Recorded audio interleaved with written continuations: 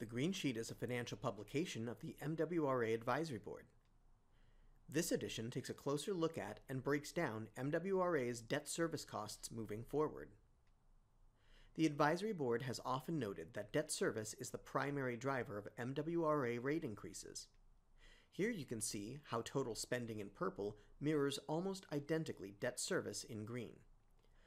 When capital financing jumps in any given year, overall spending jumps as well.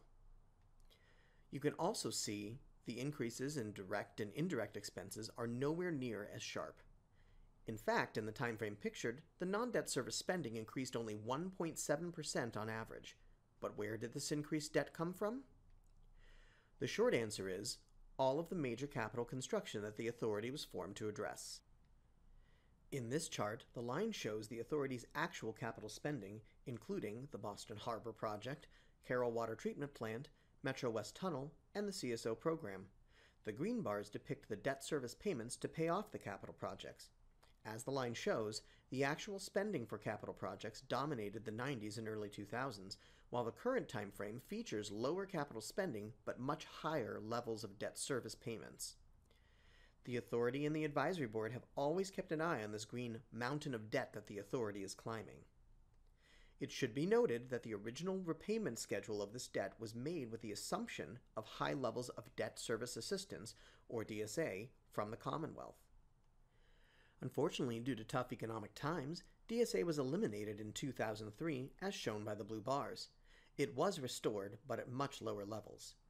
However, as the line shows, the expected levels of DSA ranged from $50 million to over $80 million each year. If you recall the previous chart, this increased relief was targeted at the steepest points of the mountain of debt. The Advisory Board is grateful to our Legislative Caucus for continuing to fight for this line item, and to Governor Baker for being the first governor to include DSA in his budget in several years.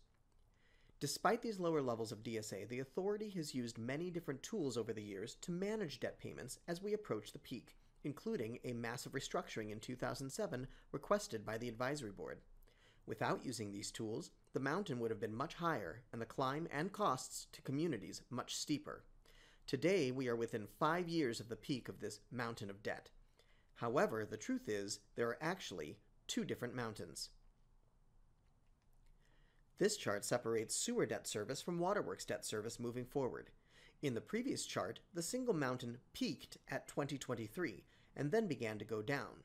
In this chart, you can see that while sewer debt does, in fact, drop off after 2023, that peak that we've all been used to seeing, water debt continues to go up until 2030. What does all this mean? Basically, there are two mountains to keep an eye on, and while one peaks in 2023, the other peaks in 2030. If we're looking at the combined peak as we have up to this point, the instinct is to use what tools you can to chip away at the top of the mountain before 2023. However, now we can see there are two different mountains to manage, so some tools may need to focus after 2023. This is why some of the Advisory Board's recommendations moving forward will be focused specifically on this second mountain and finding ways to manage water debt service between 2023 and 2030. The Advisory Board will continue working on behalf of communities toward its four No More goal of keeping future assessment increases below the 4% mark. It should be pointed out that these charts and figures are merely projections of future years and have a lot of assumptions built in, and many things will inevitably change between now and this time. One large assumption embedded is the placeholder being used for the Metropolitan Water Tunnel Redundancy Project.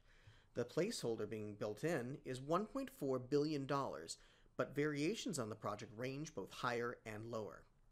Toward this end, the Advisory Board is hosting a municipal workshop on December 8, 2016 to help communities learn more about the Water Redundancy Project. Because the MWRA Board of Directors plans to make a final decision on the project early in calendar year 2017, this will be the last chance for you to help shape the size and scope of this project and to let your community's voice be heard. For more information and RSVP to reserve your seat, please visit www.mwraadvisoryboard.com forward slash MuniWorksRSVP. Thank you for watching the Green Sheet. To view other editions, please visit our website and feel free to contact us anytime.